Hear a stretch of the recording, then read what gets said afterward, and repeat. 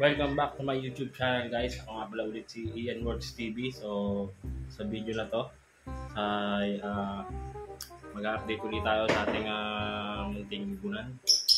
At uh, maglalagay tayo ng mga leg band doon sa ating mga uh, painakay. Ayan. So tara, umpisahan na natin. So yun nga guys no, uh, bago tayo humawak sa ating uh, mga inakay, kailangan muna natin magsawsaw ng kamay dito sa ating mga patuka. Para yung amoy ng ating kamay ay magamoy patuka. Para yung amoy ng patuka kumapit sa mga ating painakay. Para hindi manibago yung mga parents nila guys. Kasi pagka nabago yung amoy ng kanilang anak, baka posible, baka posibleng hindi na nila pakainin o subuan o patayin nila. Uh, hindi natin kasi kabisado yung ating mga ibon, yung mga parents nila. Kaya dapat magsasawsaw tayo ng kamay bago tayo hahawak sa ating mga painakay. Yan, katulad ng ginagawa ko. Sasawin muna natin yung kamay natin hanggang sa maging amoy patuka na ang ating kamay. So tara, usahan natin. So unahin natin yung anak nitong ating uh, back to back opaline. Green opaline by green pastel opaline. Nakatok muna tayo bago natin kunin.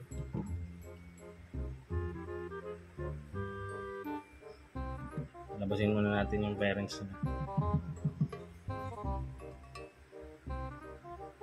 Yun. Lumabas na yung kak. So, meron tayong tatlo rito painakay. Then, unahin na natin itong malaki.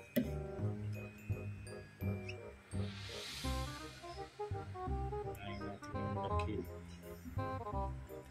Sumabit ko nakakapit siya sa nesting material.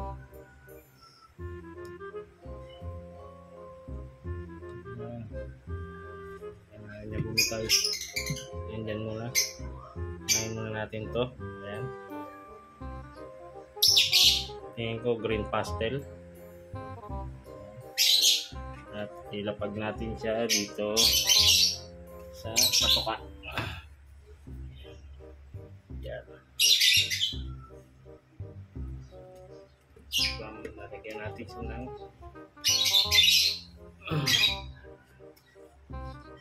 leg band.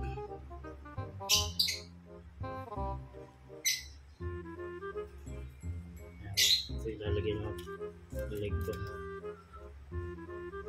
So, lalagyan natin sa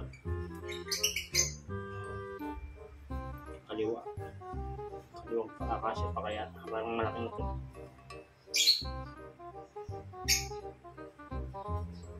Parang malaki na yung paa niya. Baka hindi na magkasya ito.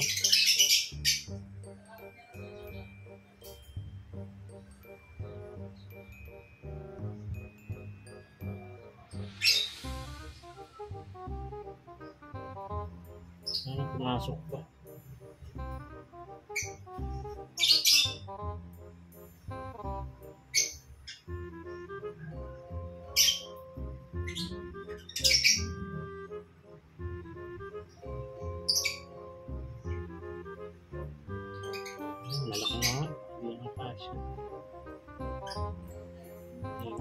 Tayo sa paglagay.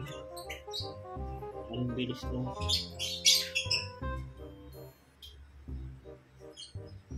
Ay, pumasok yung isa.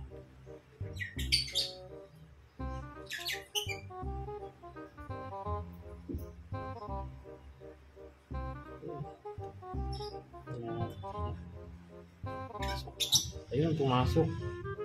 Nagkasya pa guys. So yun, nalagay natin. Ayan. Nagkasya pa. So, ano natin siya ng patuka para magamoy patuka siya. Balik natin, kuha tayong isa. So, ito naman isa guys, medyo maliit. Ayan. Ito tingin ko green. Green opaline.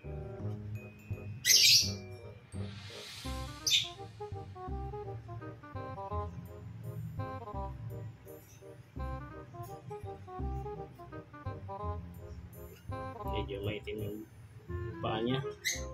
Tsaka mga kuko.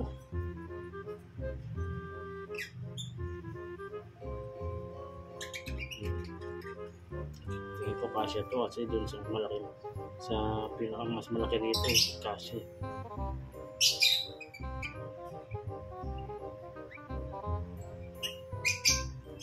Hindi mahirap i-shoot kasi yung kuko nila kabaluktot. Ayun. Ayun, shoot na. Ayan. Shoot na. Okay.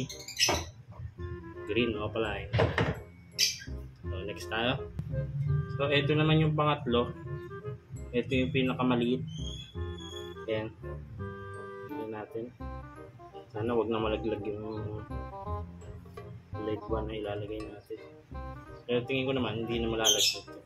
Hindi na matatanggal.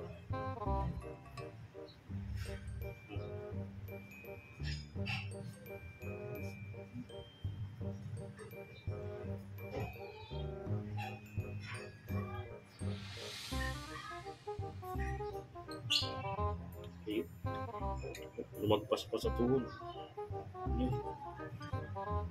Okay. Okay. Tatlo. Green opaline. May parang pastel din to.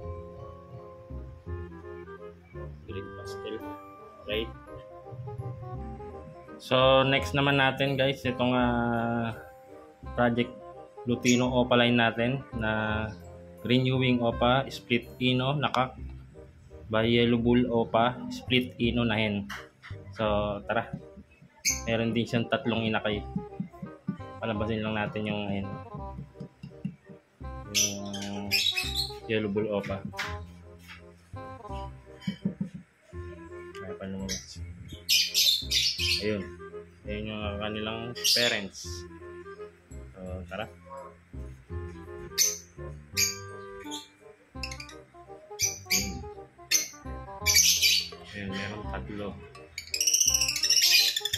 Dalawang visual guys dyan. Yan yung sa albino. So, okay, let's go. So, unahin natin tong uh, pinakamalaki. Ayan. Albino. Albino ba to? Hmm? Pa tayo. Lagyan natin na ating ah, leg band.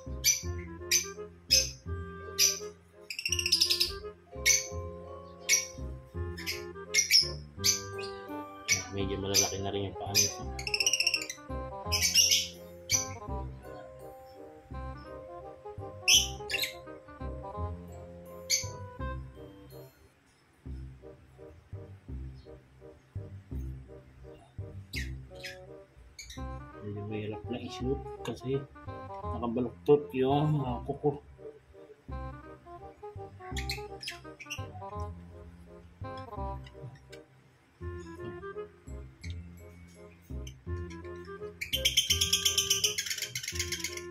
Ano, kasya. Ayun, kasya pa. Okay. Ayun. Nilagay na natin ang ating um, ring. Yan. Behavior. Okay. Balik na natin. Uh, hindi na masyadong maba ating video. So, ito yung pangalawa.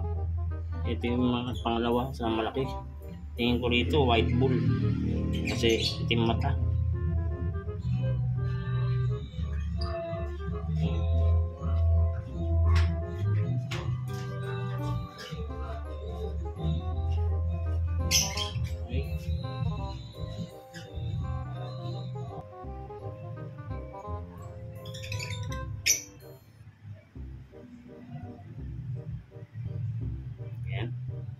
Ayan, kasya.